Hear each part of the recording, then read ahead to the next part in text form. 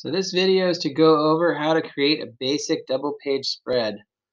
So we've already previously discussed Adobe InDesign, where everything's at and what's happening.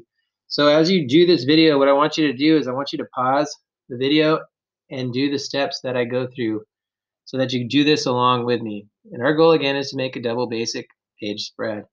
So first what we're going to do is we're going to go to File, New, Document. We're going to make a new document. There's all different types of documents that one can make. Uh, we are going to make a document for print. This is going to be for, say, like a magazine or for the yearbook. Particularly, this is going to be in the style of a yearbook double page spread.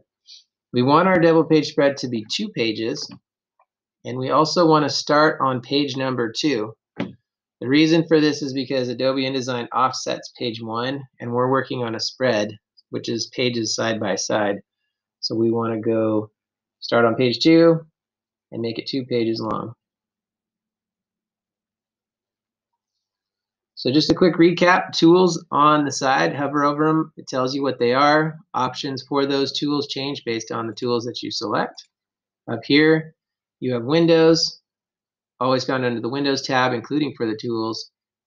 Photoshop, Illustrator, and InDesign all have the same layout as far as how the programs look. So first what we're going to do is we always begin everything that we do in InDesign, we use grids and guides. So we're going to go up to layout and create guides. So guides are used to organize your content on your page. So we're going to set this up to fit them to the margins. We're going to create four columns and we're going to preview this so we can see them. So four columns and we're going to select OK. So these are our column guides. So these help us organize the content on our page. When we print them or export them, you can export them with column guides, but the default is to not export them with the column guides. So also, I noticed that we see our rulers. So our rulers can be found at the top or the side, and you can always turn those on and off. If you go to View, you can hide the rulers or turn them on. The first thing we're going to do is we're going to drag down an eye line. So I'm just showing you this so that you know how to take things out of rulers. So I'm going to click in the ruler and drag down probably about three quarters of the way down. I'm going to drag down one on the other side of the page. I'm going to drag down another one. I'm going to make the distance between the two the same distance as the gaps between the columns going vertically these gaps is going to be the same here. And then I'm going to just match that up with this one over here on this side. So there's various elements to a double page spread. So currently they're single pages, but we want them to function as one element. So what I'm going to do is I'm going to start with a photo that's going to go over the gutter. So I'm going to grab the rectangle tool. And from this column right here, I'm going to click and drag out and go across the gutter. And I'm going to drag it down so that it touches every column guide. So notice this column is empty. The space between the columns is empty. This picture is going to fill one, two, three, four completely. It's going to touch all of the column guides as well as the eyeline that I created.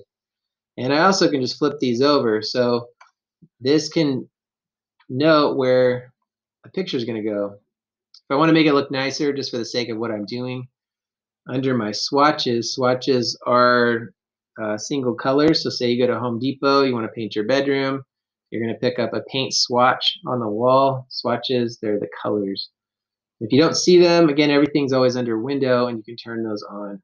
So I'm just going to pick blue and it doesn't really matter. I just, this is what I did. It just looks a little nicer. So what we have right now, this is our dominant photo. So this is called the dominant photo. It's the focal point of our spread. It's the largest item on this spread. It's where your eye goes first when you look at the page, and we're going to flank that with some other secondary photos. So let's go ahead and do that. So what I can do is I can just click on this and I can copy it and paste more of them, or I can just drag out more of them. But what I want you to do is set it up like this. So we're going to make some secondary photos, and these are these are really just kind of contrasting photos. So I'm going to put one here. Note the gap between all of the columns. I'm going to put another one right here, and this one, just for the sake of explaining another term, this one's going to have a bleed. So a bleed means it goes beyond the page. So when it goes to the press, the picture goes past it, and when they cut it, the picture will go obviously to the edge because there was actually more of it there. So go ahead and set that up like that. Now what we're going to do is add some contrasting photos. So these are secondary photos. These are going to be contrasting photos. These are just more images and you know maybe this kind of an odd shape but I'll just put it like that. So I'll put one there and then I'm going to put one right here. So now we kind of have this asymmetrically balanced layout with a large focal point, secondary photos, we have a bleed. So I think we've got a pretty good layout going here so far. So next what we're going to do is we're going to address the type or the text. So with the T, with the type tool, we're going to click and drag out a box because that's how it works. And we can type in that box.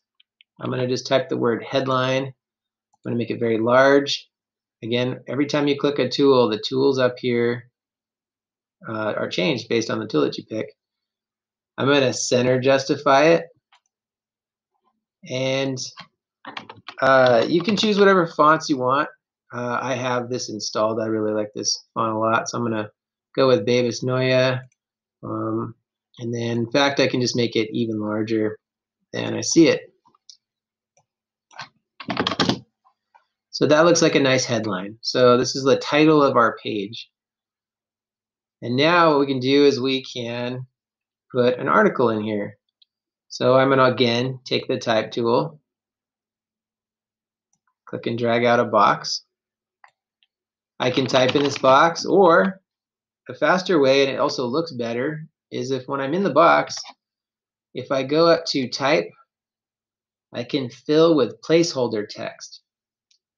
So it's going to fill the box with words that look like words that aren't really words. And again, at any time, please hit pause. Make sure you're following along. Make sure that you're precise, that your boxes touch the guidelines. It's important that they touch all of the guidelines, that they're perfect. That's what they're there for. All right, what I'm going to do now is I have one column. I could simply copy and paste it a bunch of times, and that's probably what I'll do. So I'm going to click on it, and I'm going to go to Edit Copy, and I'm going to paste. So I have another one because again, this is where my article is going. And I can go to edit paste and do it again. So right now, each column is its own unique column. And the words, in fact, they don't flow from one to the next. So if you type something uh, in a Google Doc and paste it in, it's going to be stuck in one column. So the way you get the, these to flow is down here at the very bottom, there's a little box. It could be a white box or it could have a red plus sign in it. But either way, click it once and then click into the next box. And so what happens is it's flowing from this box to this box. And I'm going to do it again. I'm going to click the little box right here. It may have a plus sign in it or not. Click it and then click the next box. And so now all of the text flows from one column to the next. And then I'm just going to style this real quick because I think it will look better. Um, I'm going to pick a font called Roboto. I think that's a very nice looking font. And also the font size, I'm going to, the defaults, we never want to go with defaults. So I'm going to copy and paste a little bit more type. But this is Roboto, font size 10. And then while I'm at it, I'll, I will also um, change the space between the lines here to 11. So just to tighten it up a little bit. And that's the space between the lines is called leading. It's the space between. All right, so now what I want, I want some captions. I need a caption for this box. I need a caption for this one, this one, this one, and this one. And so what we're going to do is I'm just going to, you know, since I'm just going to borrow, I'm going to grab that. I'm going to copy and paste another one. And I'm going to drag it in here. And I'm going to make the distance between the text and the picture the same as what we got going on here. So this caption box is for this picture. And I'm going to copy and paste another one. And this one goes to here. And what I'll do is I'm just going to copy these. So I'm going to go up to edit copy. And then I can paste it or I can paste in place. It's going to put it over the other one and then I can just use the arrow keys on the keyboard to slide it over. And now I have captions for this picture and this picture. And I think I'm missing another picture. I think it would look good with another box. So I'm going to copy another blue box and set this up. And I'll just set it up like that. So that's good. That looks really nice. And now this needs a caption box and so does this. So I'm going to copy this one. So I can right click and copy it or go up to edit copy. I can go to edit paste or paste in place and then use the arrow keys on the keyboard. So if I use the arrow key, it moves it one pixel at a time. If I hold the shift key and I hit the arrow key, it moves it 10 pixels at a time. So I'm going to copy another one because now I have a caption for this one, but I need one for here. So I'm going to paste this into place and I'll put that one up there. So now every picture has a caption box.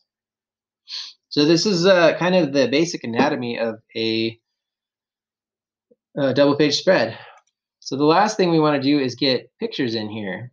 So I need to find some pictures. So I'm going to go to uh, first click the box that you want it to go in. And I'm going to go to File, Place.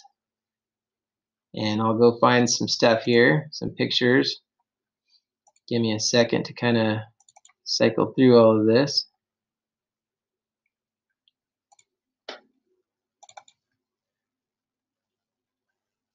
You can find them on the internet if you want just for the sake of this exercise, or if you want to as well, you could um, use your own pictures if that's what you want to do. So I'm just going to grab some images here and stick pictures in the boxes. So here's one. I'm going to click more so I can go to file place or I can press control D. All the shortcuts are listed on the sides. And I'm just going to fill these up with pictures. And I'm just going to randomly pick, put pictures in different picture boxes.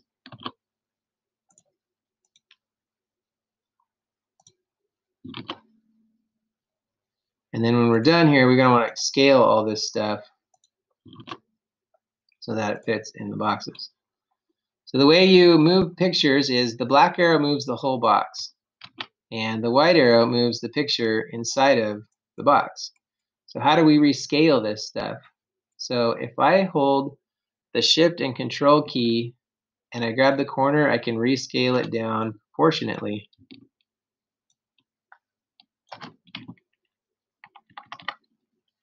So again, holding the shift and control key, keeping it proportionate. And there we go. There's another way to do this as well. I can click on it with a white arrow and I can then right click it and I can go to fitting and I can fit it into the frame proportionally.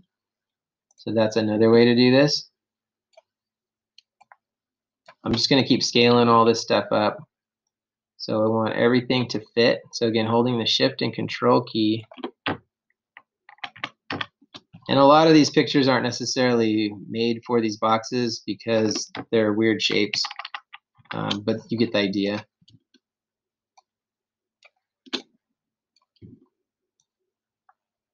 So we'll just we'll pretend like it looks great. So again, shift and control with a white arrow to grab the corners. If you don't hold the shift and control key, you're going to skew all the pictures and they're going to look horrible. People don't look like this. People don't look like this. They need to look like what they look like or else they'll get mad. And it, it won't look good.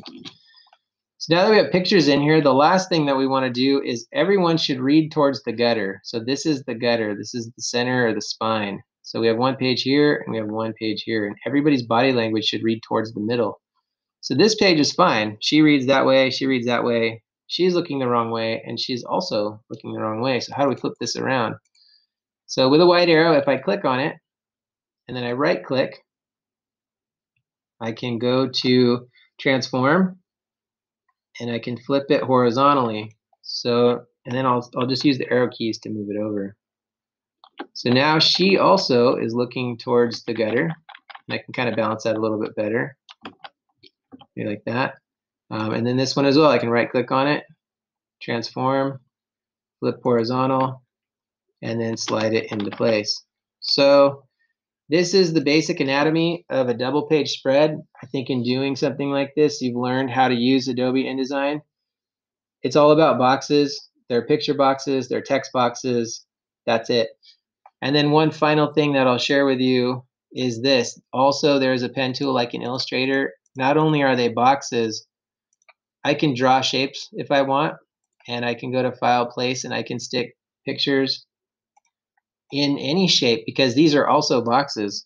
Or I can grab the type tool and click in it and I can type in the box. So that's all this program is. It's all about creating guidelines and then that's used to organize things and then the rest of it is boxes. So what what tools did I use?